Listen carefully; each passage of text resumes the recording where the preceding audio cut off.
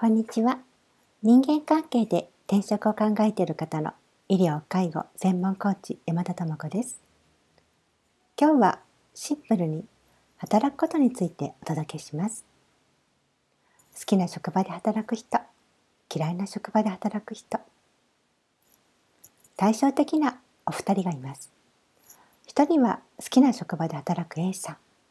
もう一人は嫌いな職場で働く B さんです。A さんは、おはようございます。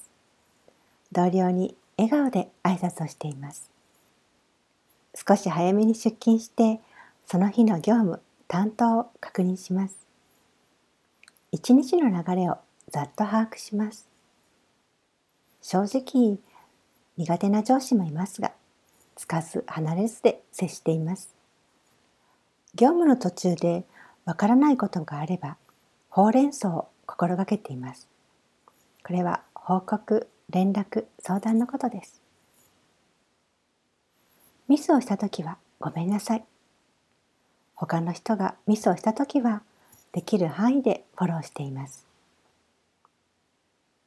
手伝ってもらったときはありがとう。他の人を手伝えるときは喜んで。いろいろあった一日。それでも患者さんにありがとうございましたと言われたあの一言で疲れも半減した気がします。お疲れ様でした。同僚に笑顔で挨拶して帰ります。B さんはおはようございます。もごもごと挨拶をしています。タイムカードはなんとかセーフ。早く行っても楽しくないし。今日は何がある日？誰か知らない？うわ、朝から苦手な上司と目が合ってしまった。ついてない。業務の途中で何これと思っても、今更人に聞くのも嫌だし、上司に報告するのはめんどくさい。ミスをした時はバレませんように。他の人がミスをした時はどうしてそんなことするかな？手伝ってもらったらラッキー。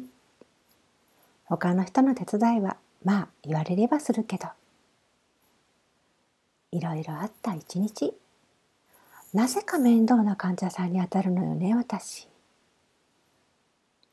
はあ本当に疲れた。ねえ誰か一緒にご飯食べて帰らない？口でもこぼさないと。やっていけないよね。あなたはどちらの職場で働きたいですか？どちらが同僚だと嬉しいですか？当然ですよね。実は A さんと B さん同じ職場で働いています。あなたの一日を決めるのは職場でしょうか？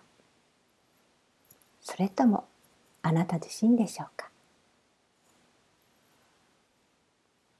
同じ職場でも A さんのように過ごす人もいれば B さんのように過ごす人もいます。全7回の無料メールセミナーを受講して自分自身で一日の過ごし方が決められるようになりましょう。登録方法は YouTube のお知らせの欄に掲載しております。またはこちらをご覧ください。